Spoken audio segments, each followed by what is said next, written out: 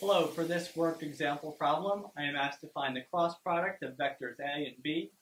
Uh, so a is 1, comma 3, comma 5, b is 6, comma 4, comma 2. Uh, and to do this calculation, I'm going to use the Wolfram uh, vector operation calculator. Uh, so looking at the same page, if I simply scroll up, it's this third piece down here. If I click on that, it will bring me to the vector operation calculator. So here you've got options for a, different, a few different vector operations. Uh, and one of those over here is going to be the cross product. So if I click on that, it'll open up a new window. And over here uh, on the top is where I'm going to enter my vectors. So between the first brackets, this is going to be vector A, 1, comma 3, comma 5.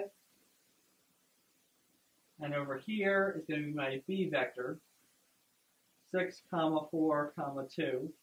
And you notice in Wolfram the cross operation is the, the word cross there. Um, so if I hit the equal sign,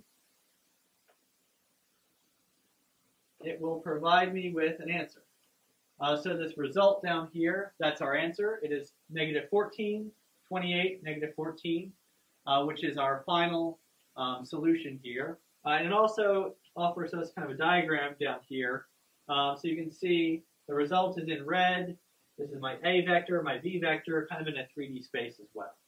So with that, we've solved our problem. Thank you for watching, and I hope to see you again.